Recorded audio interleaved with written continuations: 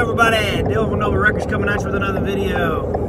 Um, it is 7.30 in the morning, and I am going to up towards Asheville. I've got a, a guy up there that is like a touring musician.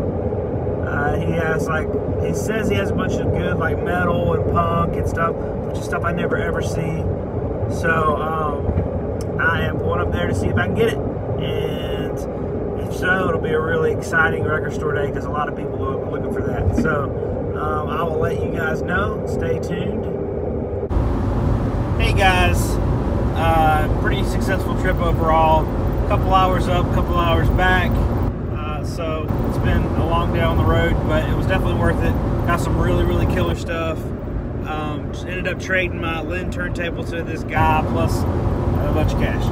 So um, stay tuned. I'm going to kind of go through some of the heavy hitters with you. All right, guys, I'm back at home. Uh, it's been a long day of driving and I had a bunch of other stuff to do, getting ready for record store day. So, um, got a bunch of great stuff. I'm going to show you a whole bunch of it. Um, uh, there are a few keepers, but I'm not showing them in this video. So everything in this video is available on Friday. Record Store Day, Black Friday, November 29th. We're opening at 9 a.m. I know I said my last video it was going to be normal hours. I decided to pull it back to 9 to give everybody extra time to get there and look and all that stuff. But we're going to have some great stuff. I already had really good stuff, and then I got this today, and I'm supposed to be getting some more stuff tomorrow. So, uh, really excited. So, if you're in the area and you're able to make it, Friday, be there. So I'm, I'm starting. I get this guy's house. Got a really cool house. Got like uh, caribou heads on the wall, like uh, deer antlers on the wall and everything. He's got like tons of guitars, tons of amps, tons of speakers, tons of turntables. I mean, he has like total man cave. The whole house. It's awesome. I uh, started looking through the records. He had a bunch that he had a bunch he was keeping, but then a bunch that he was gonna sell. And the first things I saw that really stuck out to me uh, were these jazz promos. Check that out. Thelonious Monk. Uh, it's Monk's Time with that timing strip. Those Columbia timing strips, I don't know what it is, man. They just, I love them. And I'm telling you, if I wasn't trying to do some special stuff for Record Store Day, I would definitely keep these because they are sweet. And if they don't sell, I'll probably keep them because they, but they will sell. Everybody loves this. This is a white label promo. Look at that. Uh, with that beautiful timing strip. I love that. This is like the crispiest one. Um, another really cool one is this one, although it's the classic. Somebody tried to rip the timing strip off, but it's still there. Oh, look at that. Monk. Uh, Really cool promo here. And these are all like really clean. Look at that, man. So sweet. Um, ne I never see early monk stuff like this, um, especially not promos. Look at that. And someone redacted on there that it says, it, it's supposed to say under that black mark, it's supposed to say radio station copy, uh, not for sale, whatever, not for resale. This one's really cool. Miles and Monk at Newport with the white label. Oh gosh, these are so cool. These uh, Miles Davis Six Eyes promos. Look at that. And they're, and they're very clean. Uh, this one, don't see this one very often. A jazz track. Yeah. Splat out. And then there's this one with the, that's a really nice timing strip on this one as well. Um, two. But man, those are some sweet promos. Uh, just a heads up, like a lot of those Columbia, the timing strip and the white label promos, uh, it depends on what album it is, but they can they can go for good money. I know if it's like Bob Dylan, they go for really good money. I had a Joni Mitchell Blue that had the timing strip on it. It wasn't really clean, but I think I sold it for like 150, 200 bucks, something like that. They, they can go for a lot. It's kind of surprising sometimes. because um, I kind of was in the school of thought, you know, when I first started selling that promos really didn't it didn't matter, but uh, some some people are big time promo collectors and it does matter to them. Um, and there's something special about them.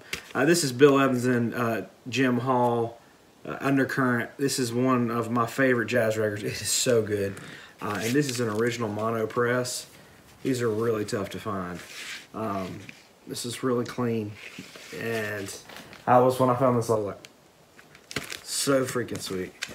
Um, Amon Düül 2. Um, Viva la Trance. Pretty cool. I was kind of tempted to keep these. Um, on Dual 2 again. This is really cool really clean copy of the Cramps Greatest Hits. This is original press. You know, I never see punk stuff like this, so I had to get it. Um, this is uh, Grateful Dead at Felt Forum picture disc, only a thousand copies made. It's a bootleg. Uh, this is Motorhead. This is one that I get asked for a lot. Uh, John Lee Hooker, Endless Boogie, and I just got one for myself because I've been wanting one for a long time. And then he had this one. I'm like, ain't that how it goes? Um, another thing I get asked for a lot is Iron Maiden, Life After Death. This is Life After Death. And any Iron Maiden people really look for it. This is a, a Piece of Mind in the Shrink. I really, I really like that album. Um, this is the best of Whitesnake, which, you know, it's not the fanciest things in the world, but people like Whitesnake, especially this album, love this record. I grew up listening to the heck out of this record. Love it. Uh, but I mean, Whitesnake sells very well, so great stuff. Um, he had a bunch of. Well, I'm gonna I'm gonna save that one. So this is Sex Pistols. Um, this is like some rare uh, EP, uh, Anarchy in the UK, red vinyl. It's kind of cool. Um, he had some some cool import stuff. So this guy, he travels um, he travels around, and I think uh, he travels around playing music and or uh, dealing antiques and guitars and stuff. I mean, he he was kind of an interesting dude. I don't know exactly what he did, but I know he travels a lot. He goes out of the country a lot, and he finds this stuff and brings it back. Um, X ain't love grand. Uh, let's see.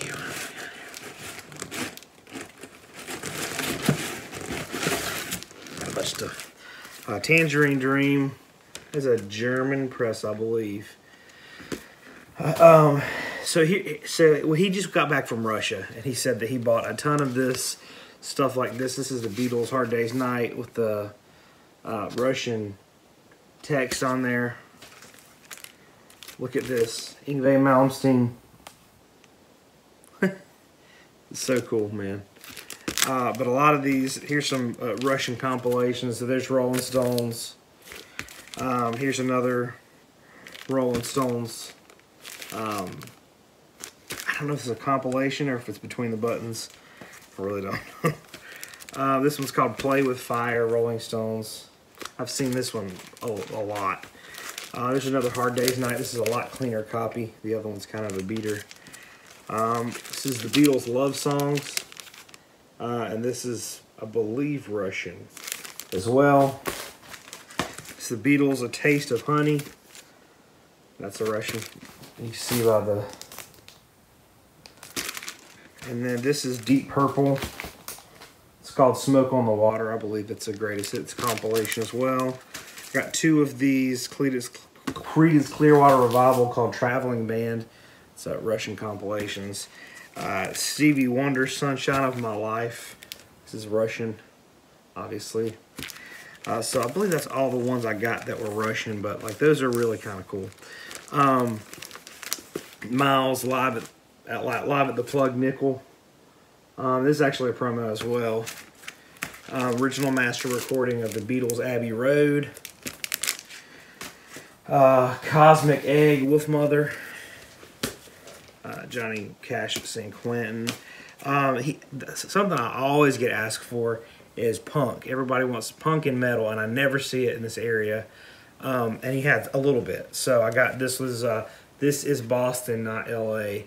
Um, you know, uh, Gang Green, Decadence, The Freeze, uh, the FUs, the Groinoids, uh, Jerry's Kids, a bunch of uh, really cool punk stuff on here. I, I'm not a big uh, connoisseur of punk, but I know this um, kind of did some research on this. It's kind of desirable. Um, the Fall's original press. Uh, Screaming Broccoli. I had this a while ago. It's kind of a neat record. Um,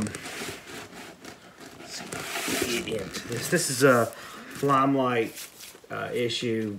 Eric Dolphy uh, last date. Nothing fancy, but it's Eric Dolphy, so I had to get it. The Doors, this is an original gold label. Um, you know, Grateful Dead, King Crimson, Starless and Bible Black, Ahmad Jamal, uh, The Clash. I believe that's a import some sort. Feels like it anyways.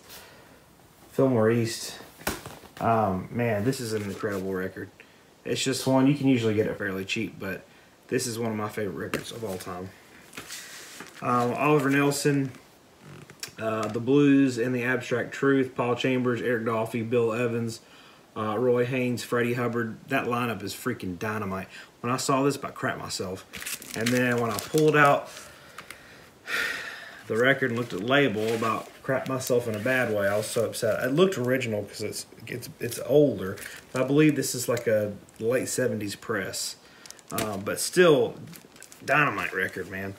Uh, Milt Jackson statements on Impulse. Blues Jam in Chicago. This one is killer. Uh, it's got the original lineup of Fleetwood Mac with Peter Green, Otis Spann, Willie Dixon, J.T. Brown, S.P. Leary, killer blues drummer. This is really great. It's volume two. I have volume one and volume two, but holy moly, let's that's some smoking stuff. Uh, Zeppelin 2, Presence. Oh, yeah. Dylan's greatest hits. You know, Dylan, Dylan. Uh, Michael Jackson Thriller. It's just one. I could have a million copies and sell them all. Um, you know, a bunch of Van Halen stuff. Uh, the Beatles talk down under. This is like a interview thing, not nothing special. Uh, Chet Baker Quartet, uh, Jazz at Ann Arbor, original uh, Pacific Jazz press. Uh, best of Lonnie Liston Smith, freaking killer. I got this recently and listened to it and loved it. Ended up keeping it, and then I saw it and I had to get it because it's so good. Uh, the Norman Blake and Friends, uh, just some killer strings, some bluegrass. Iron Butterfly, Son of Steel, um, an original Let It Bleed. I got another Thriller, getting super thrilled up in here. Um, David Bowie's Starman, this is a, another Russian one. So cool. I'm tempted to keep that, but I won't. Uh, Pin-ups, uh, station to ch station changes to Bowie. Um, this one's kind of neat. This is uh, the Who uh, Maximum R&B. Uh oh, it's upside down. On this side, it's not. Uh, Maximum R&B picture disc. Uh, I know Maximum R&B was like a. Um, I remember there being a CD box set of it, and it was like a history or something. So this is kind of weird, but I know it's um it's like a live thing here. Uh, so, anyways, I'm not sure, but it's it's pretty cool. Got that. Live at Leeds and John Lee Hooker, Madman Blues. This is a really cool. Tempted to keep it, but um, trying to trying to not keep very much. I only kept like four or five records from this haul, and uh, I'll show those in a later video. So he also had a lot of really cool Hendrix stuff. I got a bunch of Hendrix stuff, so buckle up. Uh, uh, Hush, was it Hush Now? Yeah, Hendrix Hush Now, it's a bootleg. Uh, last night, uh, second time around. Uh, War Heroes. This is the, Essential Hendrix with the 45. This is volume 2. Um, Midnight Lightning. Crash Landing, I really like that one. Um, Hendrix at its best.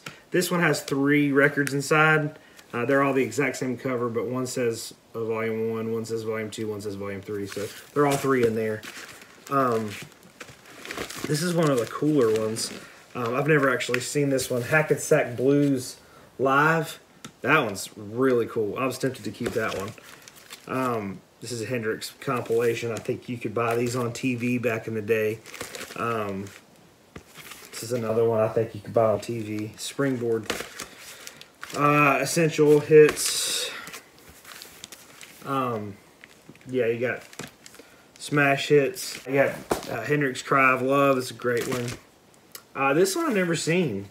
Uh, Guitar Giants Volume 2. I looked it up. Volume 1 looks just like it, but it's a different color.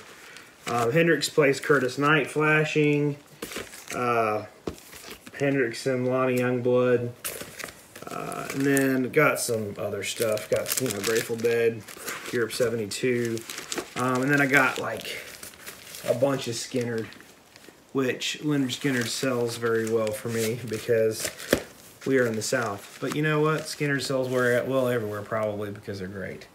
Um, so anyways, that is uh, most of what I got today. Some really cool stuff. So you guys, if you're interested in any of that stuff, um, I've got that plus a ton of other stuff in the works. So come to record, record store day on Friday. We're going to be making some deals. We're going to be selling some hot wax. Do not miss it. We'll see you there.